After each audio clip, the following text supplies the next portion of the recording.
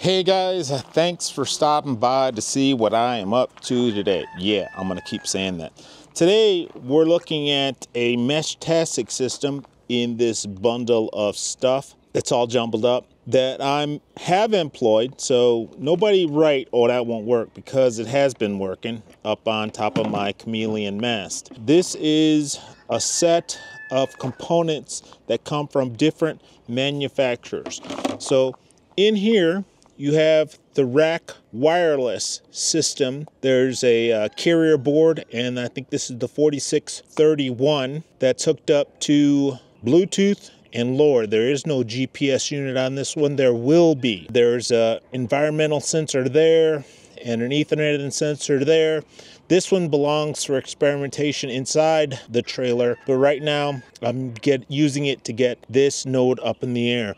This enclosure is a voltaic system. So this enclosure, waterproof, waterproof pass-throughs, atmospheric, comes from Voltaic.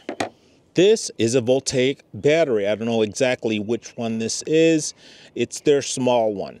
And anyway, it's been doing the job. It's fully charged and that full charge, I don't know if you can see that light, that full charge comes from the solar panel. This has been up for about a week and it stayed fully charged with the mesh Meshtastic system working and it hasn't always been sunny, but there's been a lot of sun. This over here is their 5 watt panel, 5 point something watts. It puts out 5 watts at 7 volts at its very best. Uh, again, it's been doing the job. This is an N-type connector with 10 millimeter Messi & Paoloni. I think it's the Hyperflex. I'm not sure. Going up to an antenna I got on Amazon. Where does it live? It lives more or less about 25 feet up yonder on that post. So that's where you're going to see it in a little bit. There's the ground. There's the mast.